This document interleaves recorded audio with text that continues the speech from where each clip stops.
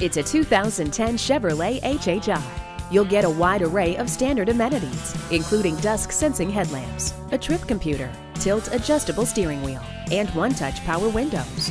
With so many standard features and its rock solid build quality, you'll always feel safe and secure in the Chevy HHR.